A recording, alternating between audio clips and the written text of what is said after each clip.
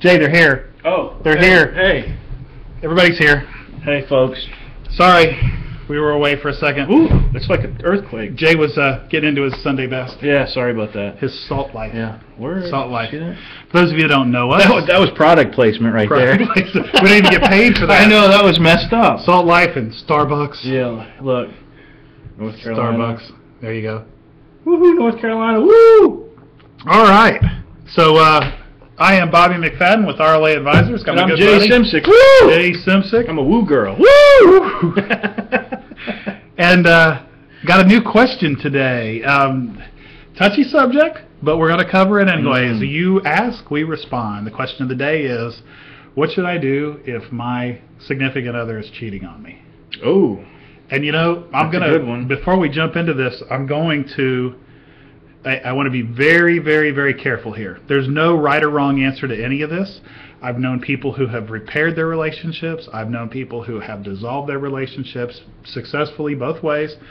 But I also know people, and I want to be clear about this before we jump in, who thought they knew. I want to be clear. Who thought they knew their spouse was cheating, only to find out that they weren't. like thought they knew, like as in they were right.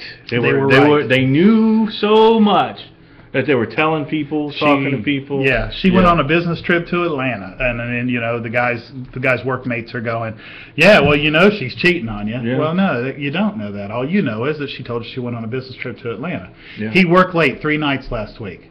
Well, yeah, he did. Oh, yeah. Might have had a big project to be working on. So be very, very careful before I go into Janine this- from down the street saw him with some woman at a restaurant. Yeah, turns out it was his sister. Could have could have been a workplace uh, meeting. You know? So really, and I mean this very seriously, before you you investigate anything like that, as far as do I leave, do I stay, do do I make damn sure that you are correct in your either your assumption or the knowledge you have. So with that, I'm going to ask you, what what do you do if you know? I mean, if you've verified that that's the case. Well, the first thing is, this is just my opinion. Um, if it's been verified, like you've gotten a private eye to like verify, and you've got video evidence and that sort of stuff, Mhm.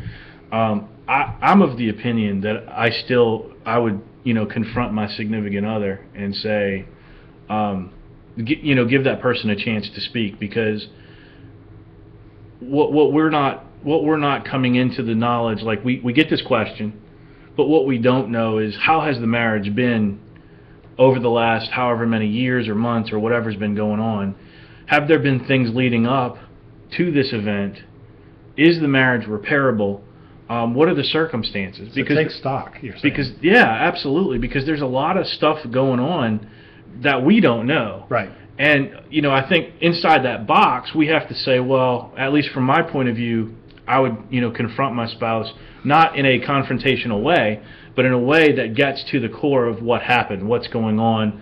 Um, I know for a fact that this is occurring. Here's what I have, and I want to know why you did that. You know, and in my mind, the minute you start accusing, the defenses go up For sure. right? So you're not going to get a clear answer. Mhm. That's why I say in a non-confrontational way to keep it calm, so that it doesn't go haywire. That's difficult. Is is a way to handle it. Of That's course it is. I mean, I'm speaking in a non-emotional way about Sure, it sure. because I'm not in that situation. But again, it reverts back to the same thing that we've said over and over again. And Mancode Secrets Revealed went into that deeply. Talk, talk, talk, talk, talk. Yeah. I would I would even argue that if you're talking before that, cheating doesn't happen. probably wouldn't happen. So now that if you're certain that that's happening, let me just be clear with what you said. Take stock in the relationship. Sure. Evaluate where you are. We can't make that decision, but No. if your choice and choose powerfully, if your choice is that I don't want to be in that relationship anymore, then take the proper actions. Be I hate to say it this way, but I don't know another word, professional Yeah. about the whole thing. It it is it is not a reflection on you. It's just something that happened. So take stock, evaluate, have that conversation, and then I, make s- a- I say along those lines I say that in any case whether it's you stay in the relationship you get out of the relationship um, no matter which way you go you have to be okay with the, the the decision the choice that you're making in that moment and everything following through after that. Because if you make that choice powerfully make that choice, and then in your mind you're thinking the opposite, Uh, you haven't made the you choice. haven't really powerfully made Right. that choice, and what's going to happen is it's going to haunt you. And it's going to come back and it's going to eat at you, and you're going to say, I wish I would have done, I wish I would have done.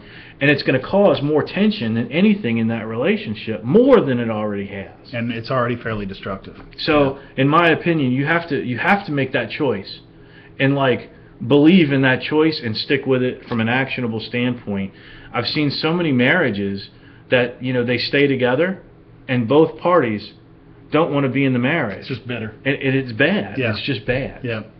So yeah, I guess the the bottom line is is verify everything and then conversation first, conversation last, conversation always. Absolutely. Right. You All get right. it. So that's it for today. I'm Bobby McFadden, And I'm Jason. We wrapped up a, RLA a big topic in like five minutes. That's Leave awesome. us a comment below, hit the links for our books, and we hope to see you next time. Yeah. See ya. Bye now.